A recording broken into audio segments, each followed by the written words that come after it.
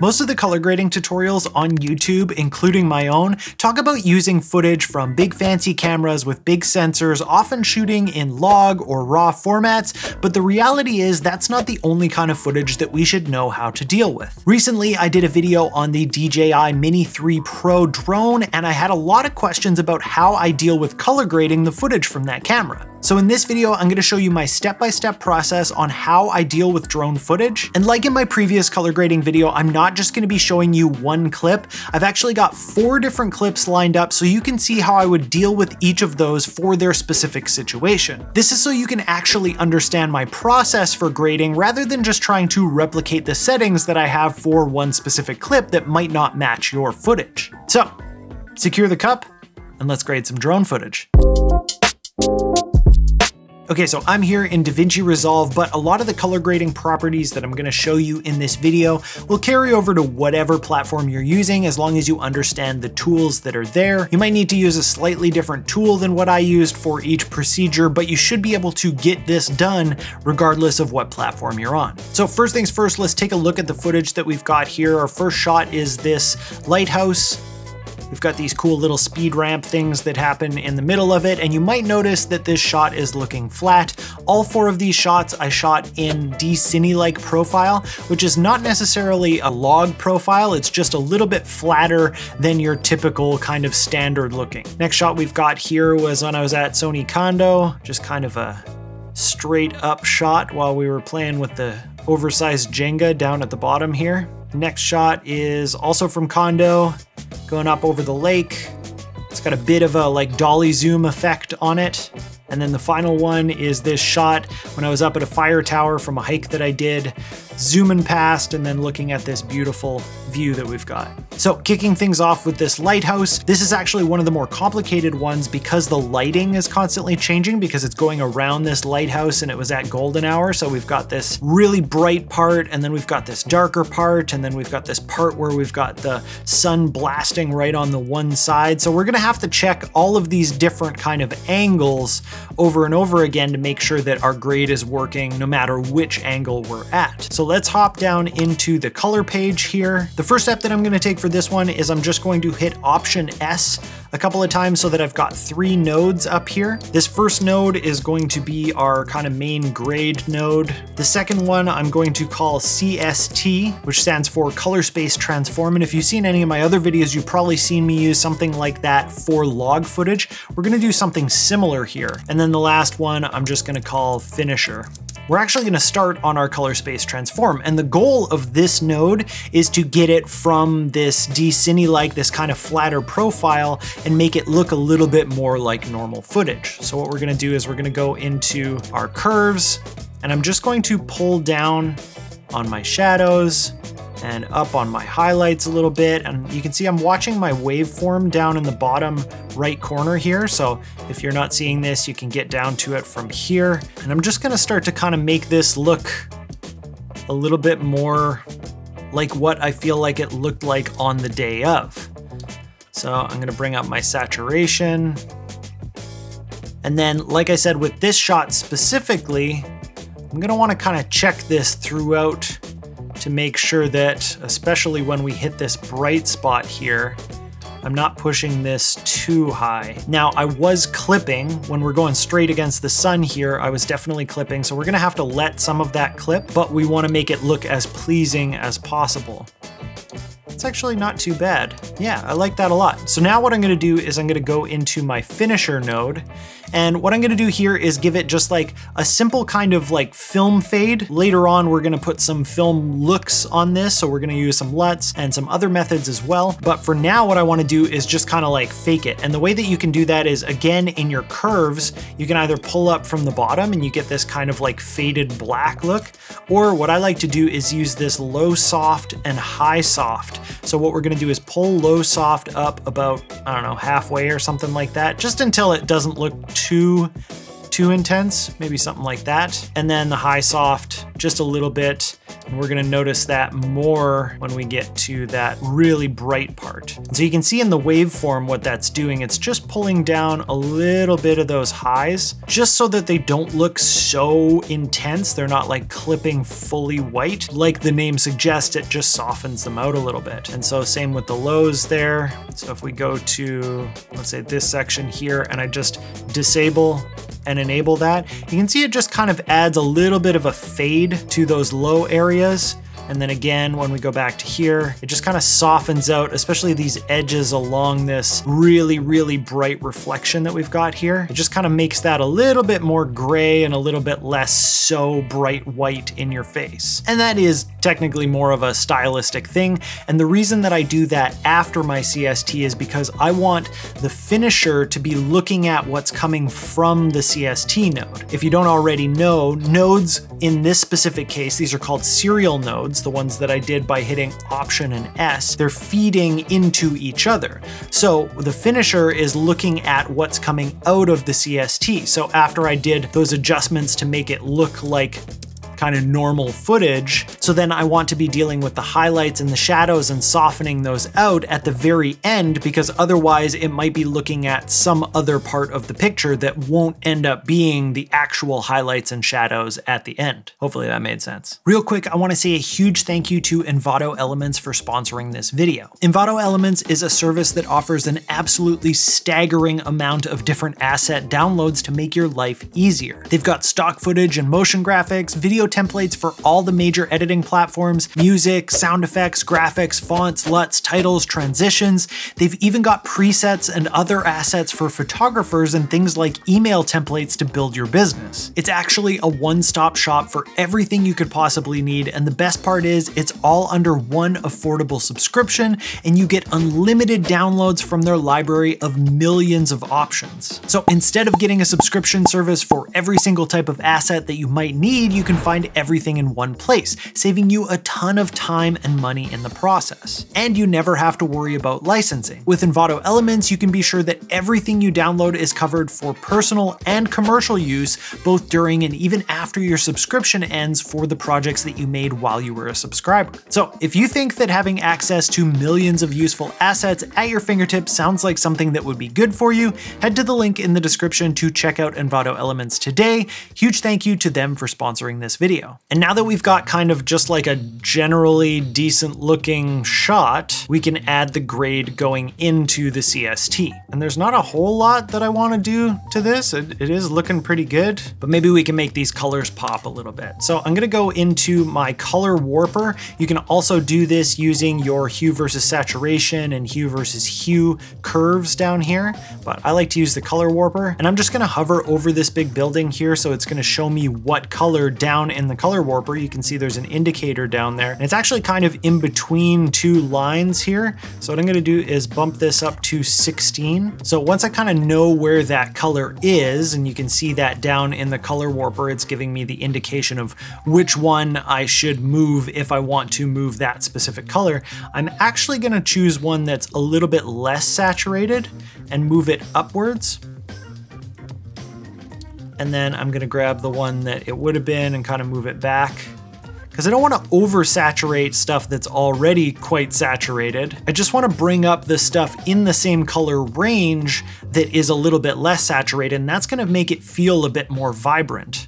And since we really want this red lighthouse to pop, so you can see it, it's really subtle, but in here, at this angle, if I pull out that part of the grade and then I pop it in, it just made that red pop a little bit extra. I'd love to see a little bit of this yellowy orange, a little bit more intense. So I'm gonna grab these lower saturation levels and pull them up just a little bit and maybe pull them a little bit more towards orange. And then just that whole line over towards orange a little bit. And that's making the sunset look really, really golden. Okay, let's do something about these blues. I'm gonna take a couple of these points. So I'm just holding command while I click on these. So I'm selecting multiple and then I can go over to my hue here and I can rotate them all.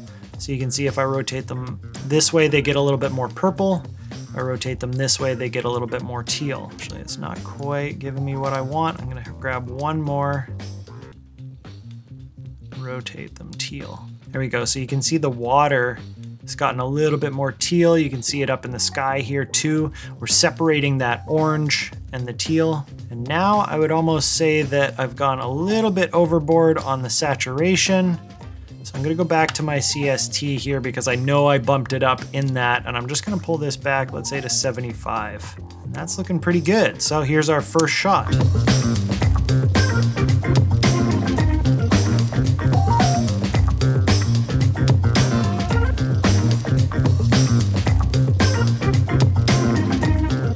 So this is before and after.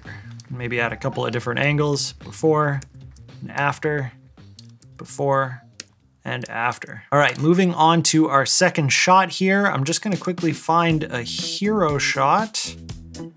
And I think it's just the very last one. We're gonna add a couple of nodes again. So it's either option S or if you want to right click, go to add node, add serial. I'm actually gonna add four this time. So the reason that I used four nodes on this one is because we're actually gonna be using the film looks built into DaVinci Resolve. They're just LUTs, but we need to do a special process to make them work properly. The first thing that we need to do is transform our footage so that it is in Cineon film log. And so what that looks like is we use our color space transform. If you're not seeing that, it's effects, and then typically it'll look like this, and you can search for it up here. So color space transform and then drag it on. I actually have it marked as a favorite and then you can just show your favorites. So now I'm only seeing like the four or five that I normally use.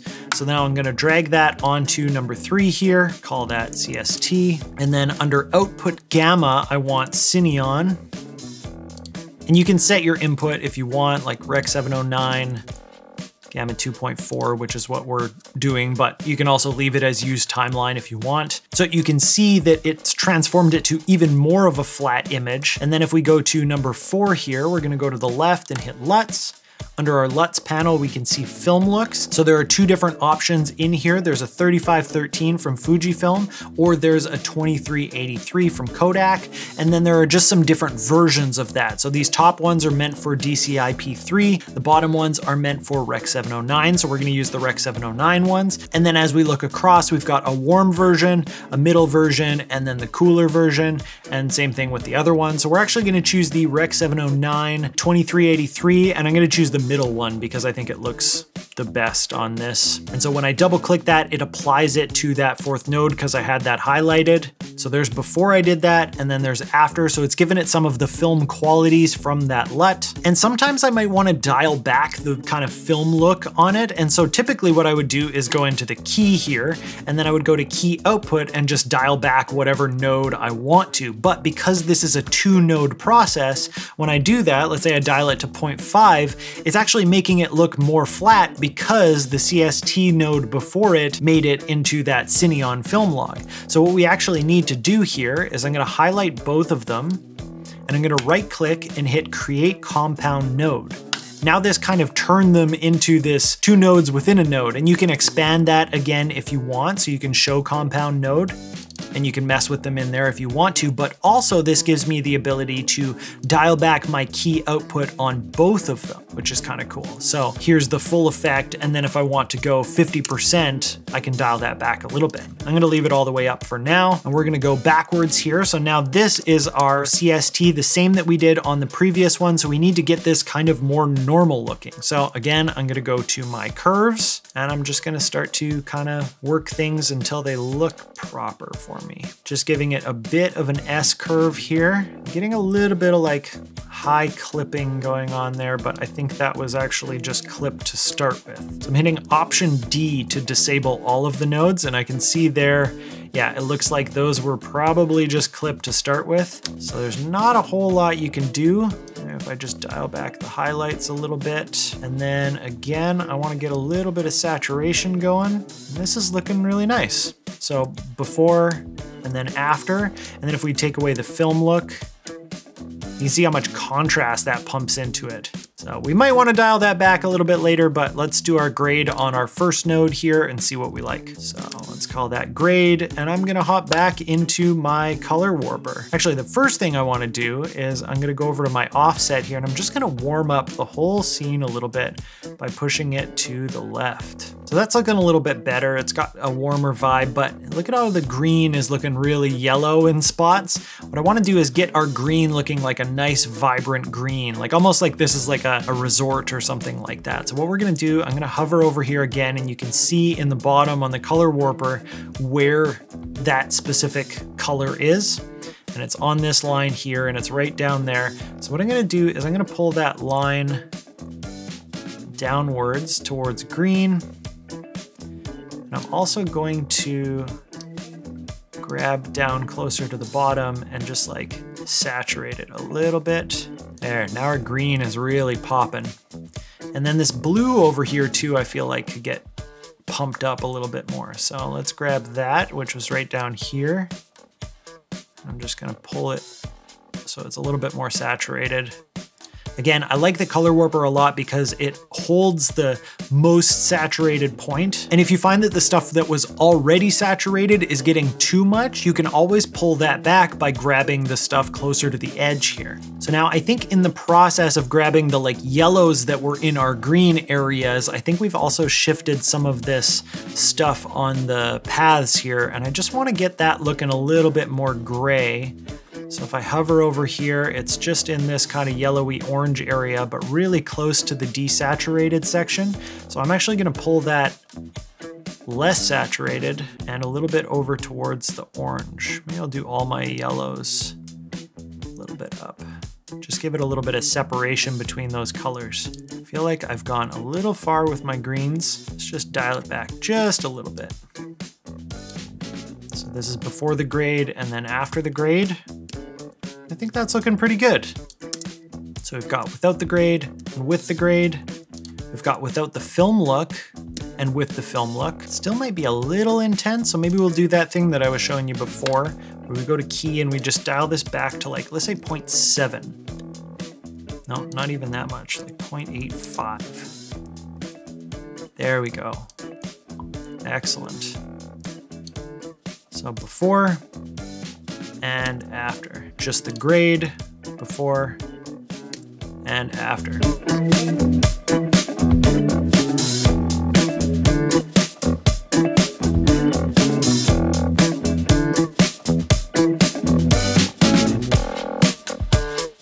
two clips down, let's move on to this third one. For this one, I'm gonna do four as well. We're gonna do that same process. We're gonna grab the Cineon, color space transform onto there.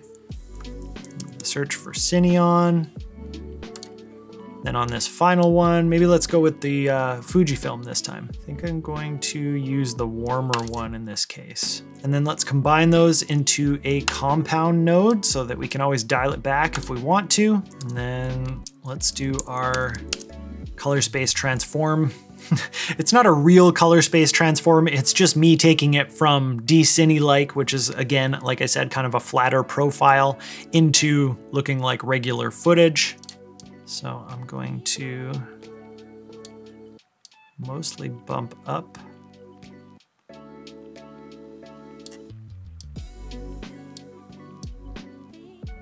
And a little bit of saturation, so I bumped that up to 85.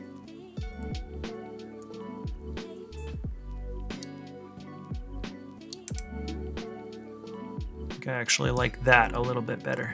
And then just out of curiosity, I'm also going to pull up the shadows here a little bit and see if I can get a little bit more of that hill in there. There, I think that's looking quite a bit better. So now let's do our grade. And I'm actually gonna do this this time for those of you who maybe don't have the color warper, you can also do everything that I was doing or pretty much everything in your curves. So your hue versus hue, hue versus saturation, they might be called HSL depending on what program you're using. So what we're gonna do here is I want to saturate the oranginess in these mountains back here a little bit. First of all, I'm gonna grab my offset just warm this up a little bit again, something like that. And then I'm going to actually use my eyedropper. And if you're not seeing this, it's just under here. It's called qualifier.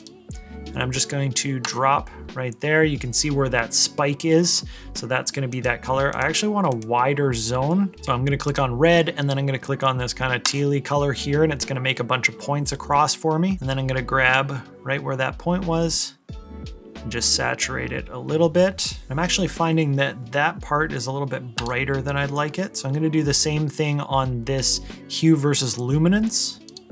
So what that's doing is changing based on the hue, based on the color, it's changing the brightness. So I'm gonna grab that and pull it back a little bit. It's gonna kind of deepen that orange a little bit on the mountains.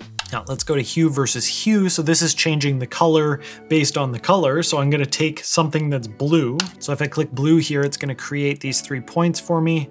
Actually, maybe want to click the green here and remove that one by right clicking so I can get my marker right where the colors are. And then I can play around with, do I want my blues to be crazy, teal, yellow, green, whatever? I can do pretty much anything here.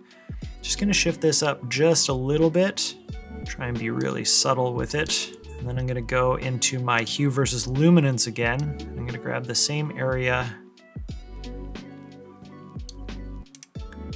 Just make it a little bit darker.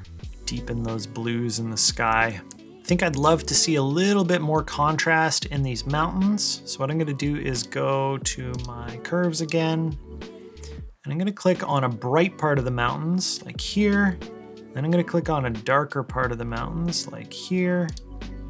And I'm gonna add a little bit of contrast between the two by dragging the low one down and the bright one up a little bit. And when you add contrast like that, it also adds some saturation to it. So I'm actually gonna go back to my saturation, hue versus saturation here.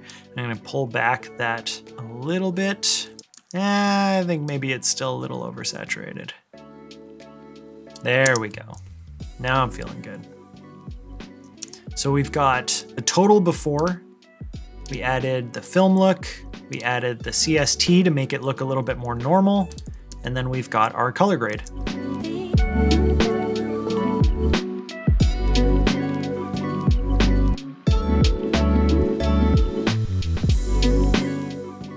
And then finally, we've got this shot that goes past the fire tower. And this shot actually looks not dissimilar to the previous shot, so I'm gonna see if I can copy it over. So all I'm gonna do is middle click on this previous one, or you can right click and hit apply grade and see what happens. Now those blues are way too intense. There's a lot of saturation going on here. So I'm gonna go into my CST, I'm gonna dial back saturation, let's say to 60. And sometimes you can get away with this. Sometimes you don't need to go through the whole process. As you can see, I kind of approach it similarly regardless, but sometimes you can get away with copying and pasting. Now, I think maybe one thing that we can do is decompose this compound node. So that's gonna turn it back into its two different nodes. And then we can change which LUT we're using. So I'm gonna go back to this uh, Kodak Rec 709 one, and maybe just use the warm one so it warms the whole thing up a little bit. And then I'm gonna create a compound node again for those. Yeah, I like that film look a little bit better than the other one. And so for this one, we've got before the grade, we've got before the film look, and before the CST. So this is totally before and totally after.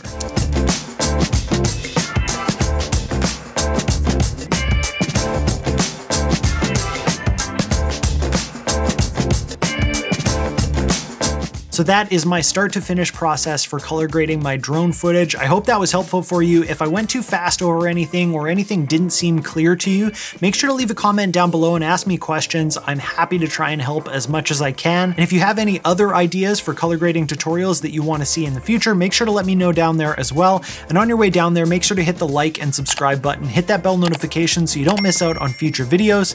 Thank you so much for watching, and I'll see you next time.